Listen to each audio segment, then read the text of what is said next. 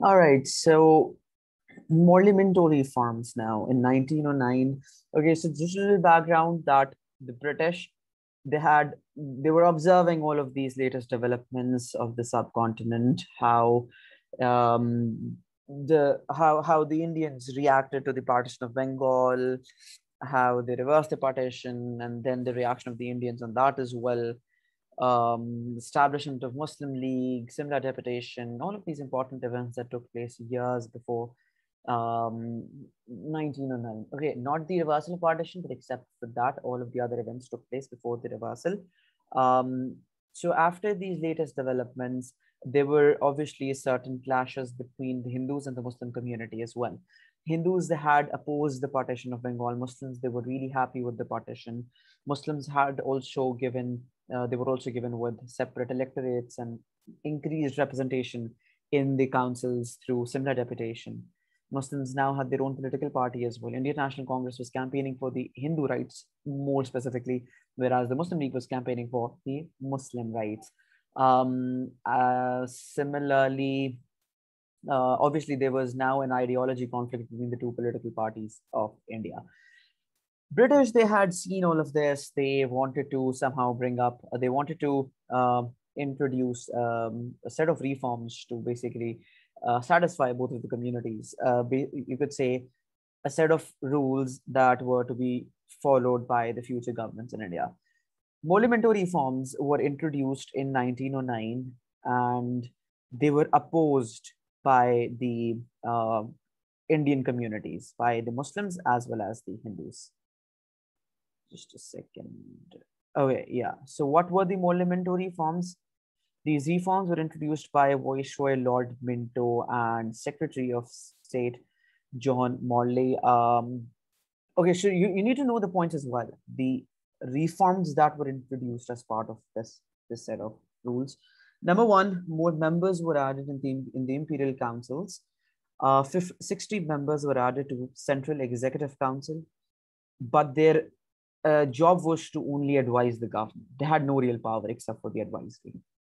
Provincial councils, members in those provincial councils were also increased. 50 members were added to larger and 30 members to smaller provincial councils. Muslims were given with separate electorates. All right, so you need to know these points. Um, you need to know the names as well. Lord Minto was the viceroy. Secretary of State was John Morley. Um, you need to also know the number of seats that were increased in the councils and obviously, the most important point for the Muslim community was the allotment of separate electorates. Okay, so these reforms were basically opposed by the by, by the Congress as well as the Muslim League. Let's see why did the Congress oppose the Minto reforms in 1909? Number one, uh, the first reason was the the separate electorates given to the Muslims. Congress never wanted these electorates for Muslims. Why? Because obviously, separate electorates meant that Muslims had more weight, more more more power now. They could choose their own representatives and with the with, with the establishment establishment of Muslim League, uh, and and obviously considering the fact that democracy was the mode of government of the subcontinent at, at that time, so Muslims getting more power or getting um, strengthened day by day was a, a, threat for the Congress. So Simla deputation, Muslims had been granted several electorates and more weightage, even though their population was not very high. This meant that Muslims were now a separate major uh, important group in India. The Congress did not like the Muslims to be independent, significant group, but they declared the issue as undemocratic and opposed the reforms right? So this growing power of Muslims was a threat to the Congress. This is why they opposed these reforms. Second reason was the advisory power. In the local councils, the imperial provincial councils, the members that were increased, they, they, they, their, their job was just advisory. The Congress thought that they were actually powerless. And British were just trying to somehow show that they were, I mean, they were caring for the Indians, they were increasing their political uh, power. But in reality, they were not Number two, some of the Congress demands were also rejected. Congress had been demanding self-rule. Uh, we, we, talked about self-rule in, in yesterday's lecture, how Congress demanded a home rule. This was, I mean, they had also launched several home rule movements to, to uh, basically convince British for the self-rule that they, I mean, Congress wanted to rule India um, and they wanted the British to leave at that time. So British had rejected this demand. Obviously, they were there to stay why would they agree to these demands? So This is another reason as to why these reforms were rejected by the Congress. Okay, so now and another important event was the Lucknow Pact of 1916, right after Morley-Minto reforms. Um, a few years later, seven years after the Morley-Minto reforms, a pact was signed between the Hindus and the Muslims. Um, this was it was the first time ever that the Hindus and the Muslims had cooperated together. For um, like officially, they collaborated, cooperated together. This was, I mean, this was a very important event because of that. So Muslim League. So what happened was Congress agreed some demands the Muslims have. For example, the separate electorates, more weightage in Muslim minority areas. So see, this was the first time ever that Congress was agreeing to separate electorates now because they needed cooperation. Muslims and the Hindus, they had to cooperate this time. Muslim League and the Congress, they had to cooperate. So yeah, they agreed to these Muslim demands, such as separate electorates, more weightage in the minority areas. So why, I mean, minority areas where the Muslim population was less, more weightage meant that Muslims had greater representation in that in those areas. They had more representatives in the councils from those areas. So yeah, secondly, Muslim League also agreed to give weightage to the Hindu, Hindus in the Hindu minority areas. So this was a mutual agreement between the Hindus and the Muslims. And as a result, they both of these communities presented a set of demands to the British. This is what Lucknow Pact was. Home movement, we've, we've talked about it a couple of times before as well. So you can just read through this from the notes. Why was the Lucknow Pact signed in 1916?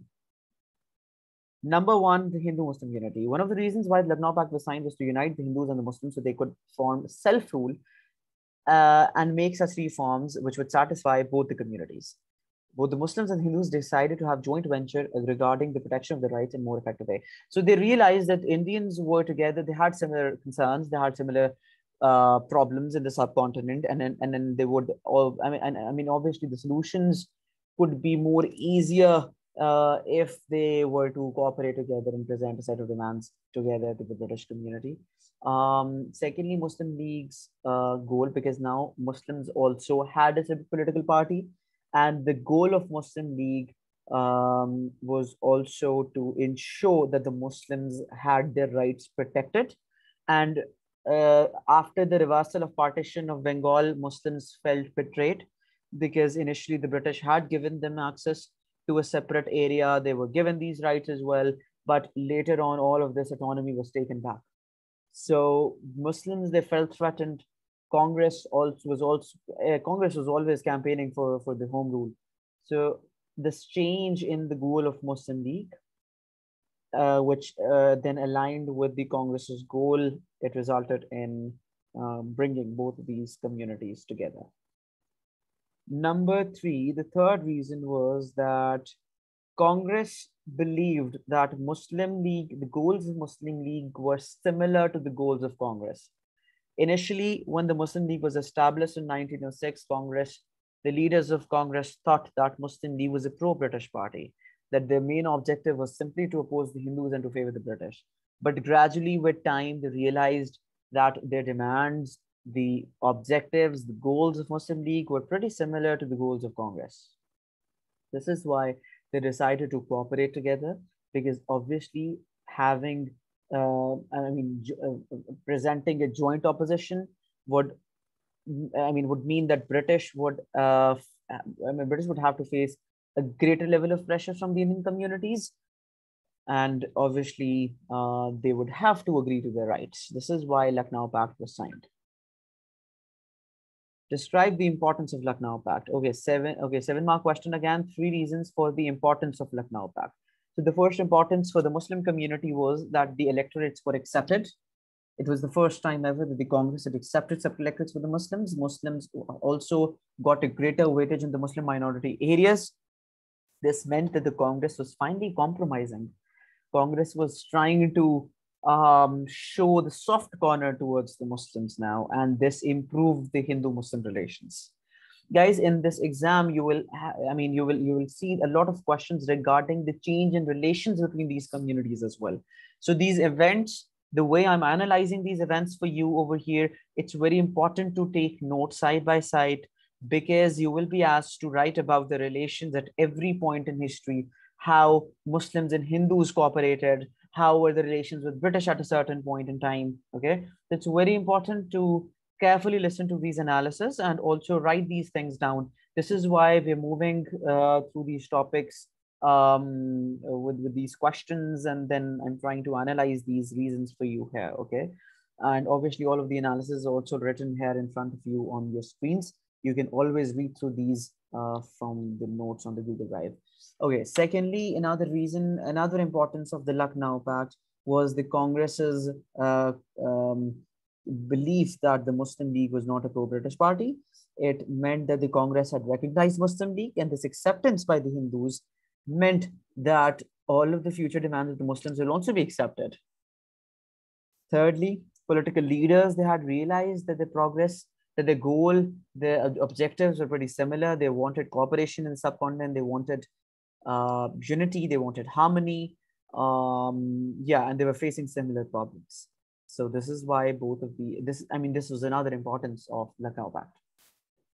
Thirdly, okay, now in 1919, three years after the Lucknow Pact was signed, in 1919, uh, Montfort reforms were introduced by the British Secretary, Secretary of State Lord Montagu and uh, Viceroy Lord Chelmsford. In 1919, these reforms were introduced and the major points were the Legislative Council was replaced by the Legislative Assembly system of diarchy was introduced. We're going to come to this point diarchy later. Separate electorates were given to the Muslims and the Sikhs. Number of seats were increased in all councils. Voting rights were increased to 2% only. Muslims and Hindus both rejected these reforms. Okay, so some of the important points. Uh, the most important point for this Montfort reforms was this introduction of diarchy. Diarchy was a system where the British introduced two major subjects number one, the transferred and the reserved subjects. The reserved subjects were to be controlled directly by the British, and the transferred subjects were to be controlled by the Indians and they were to be supervised by the British. So I'm gonna explain the system to you. Just a second.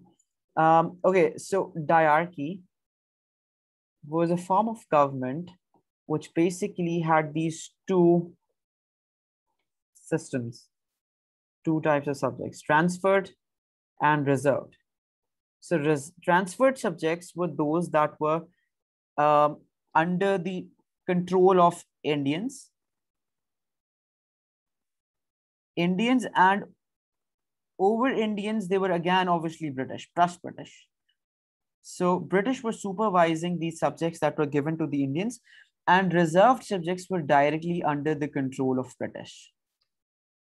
Now, if you look at these subjects, trans, for example, local government,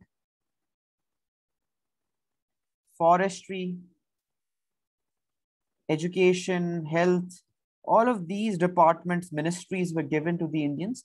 The British had control over the police, power resources, revenue, treasury, foreign relations, defense, etc. Even if you look at these subjects have also been mentioned here in the question, local government, forestry, health, education, public works, police, power resources, press, publication, justice, revenue collection.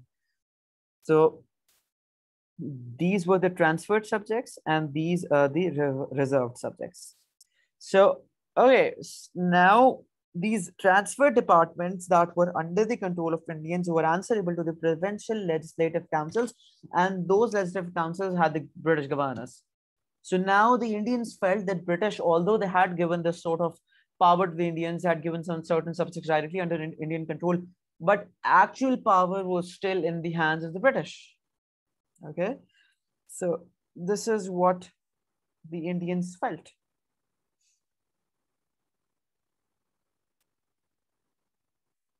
Why did the Indians oppose the Montfort reforms? Number one, that the okay, so guys, World War One during world okay, so at, at this time in 1914 onwards, World War One was taking place in Europe, and because of that, in British had British wanted the Indians to be recruited in the British Army. So they carried out a lot of these recruitments in India and they uh, recruited a lot of the Indian soldiers and they promised that they would give them good reforms as a result of this loyalty. So the Indians were expecting a lot more reforms in, in the form of Montfort reforms. And uh, I mean, they were not satisfied after the introduction. Uh, so yeah, they felt, they felt, I mean, they, they felt betrayed. Secondly, the Muslim Hindus were struggling for self-rule. Yeah, Muslims and the Hindus, they, they were expecting that the British might agree to the self-rule demand, but they didn't. They, they did give these transport subjects under their control, but there was no hint for the self-rule, uh, which, and obviously all the real power was still in the hands of the British. All of the transferred subjects were to be reported to the provincial legislative councils. This is why they were opposed. Viceroy had the most power in India at that time. So this power, growing power of the Viceroy was a threat to the Indian politics. Uh, the Viceroy could impose or remove any law um, without the consult without consulting the Indians. This power uh, was actually a threat to the Indians, and this is why they opposed these reforms. Guys, the voting rights were increased to two percent. This meant that two percent of the population, two percent. I mean, of the population, more people could actually vote for vote in the elections. Uh, this meant that the obviously they were giving more power to the Indians, but at the same time, the Indians felt that this two percent increase was very less. They expected more concessions here. And with that, we're moving on to the last event, the Rowlatt Act of 1919. This Rowlatt Act was introduced by um, uh, the British, and um, Justice Rowlatt was the viceroy who introduced this this, this act, and uh, what it meant was that they would counter any revolutionary activity in India. Because with the opposition of Parliamentary reforms and the opposition of Montfort reforms, there was a lot of uh, chaos in the subcontinent. The Indians were constantly opposing every reform the British were trying to introduce, and the British felt that nobody was trying to reach a compromise here. The Indians who weren't supporting them. They were actually rejecting all of these reforms. So as a result, to control this growing threat of the Indian subcontinent, to, to control the nationalism, to, I mean, the, the growing nationalist activities in India, British had passed this law which restricted all of these revolutionary activities. They said that they could now arrest without warrant, detention without bail, and they had the rights over the people who had to live. These are very important points, guys. Arrest without warrant, detention without bail, and right to choose where the Indians would live. Um, okay, this act was opposed by the Indians. They started protests, strikes all across India. Jinnah had resigned from the Imperial Council. Gandhi had started these strikes against these proposals. And this act led to this Amritsar massacre. It took place in 1919. What happened was that the Indians they they gathered in this Jallianwala Bagh for a public meeting, a peaceful demonstration. 20,000 Indians were gathered in that area to demonstrate that the British must withdraw this uh, act over here because it was just against the freedom of expression and freedom of speech. Um, General Dyer was the British commander who basically arrived with his forces and they closed all the entrances and he ordered his soldiers to fire without any warning. 400 people were killed, 1200 were injured. Um, and yeah, so this was the Amritsar massacre, or it is also it's also known as the Jallianwala Bagh tragedy. Indians were just there for this peaceful protest, and the British they had used force against the Indians um, and killed 400 people, including women, children, um, General Dyer was removed uh, later on because of this act, uh, but still he wasn't given any punishment. This was a turning point in history. The Indians uh, were, I mean, they, they had, they were further united. They knew that the British, um, they didn't actually care for the Indians. They were there just to showcase their power and anything that goes against their policies, anything that goes against their ideology, the British were, I mean, British used to use force against those communities to just um, remove that threat. And this is this Jallianwala Bagh tragedy, the Amritsar massacre is a perfect example of how the British has had, had used extreme force against the people who um, were just demonstrating, protesting against this unlawful act known as the Rowlatt Act. We're done with this topic here. Um, guys, is there any question?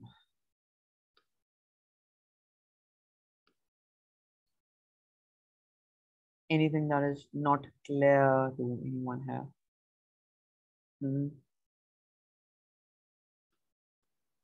Okay. So assignment for today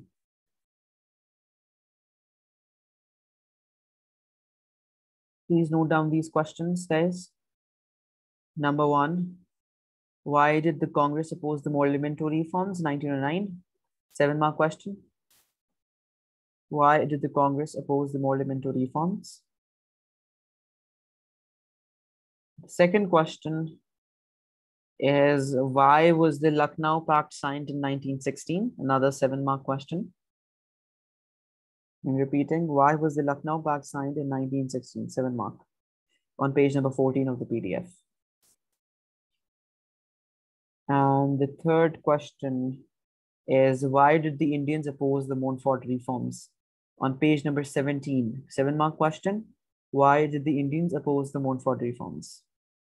Submission is 10 p.m. Pakistan time, along with all the previous questions that are left. Uh, sir, you know, these the three questions, and then there's the two questions from four, so total of five. I don't think I'll get it done before 10 because I have another class at 7 as well. So okay. could I submit all of these by tomorrow at 10 o'clock? Tomorrow, 10 p.m.? Yeah. Okay, all right, that's fine. Okay, thank you, sir. No problem. Um, okay, so we're gonna end the meeting now. Um, just a second, let me see what, if we have the notes of Khilafat movement here.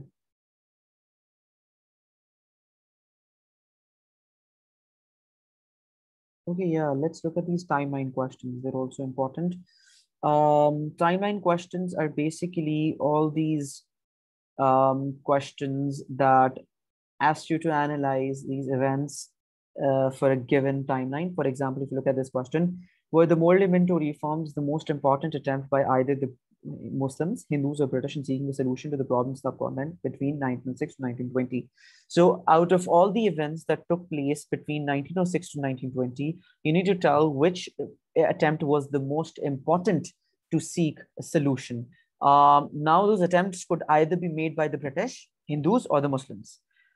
So, the perfect way to attempt such a question is to first of all write down all the events that took place in between that timeline. 1906 to 1920. The first event that took place in 1906 was the Simla deputation.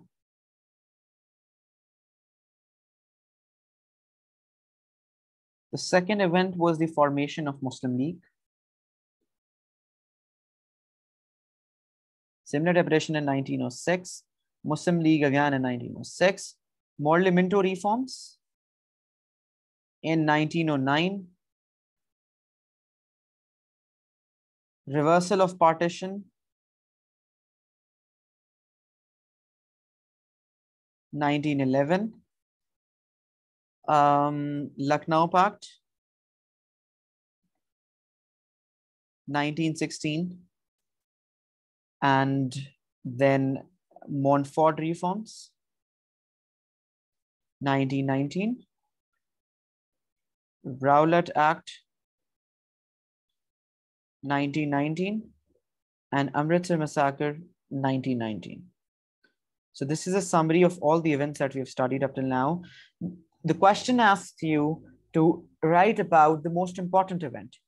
So to seek a solution, Ahmed, what do you think? Which event was the most important? To look for a solution.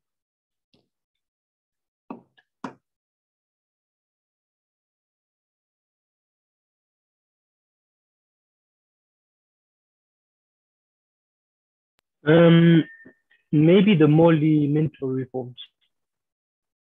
Morley Minto reforms. Okay, so if you think that Morley Minto reforms were the most important, so what you need to do is because we have one, two, three, four, five, six, seven, okay, eight points there. So what you can do is you can make up two points from Morley Minto reforms.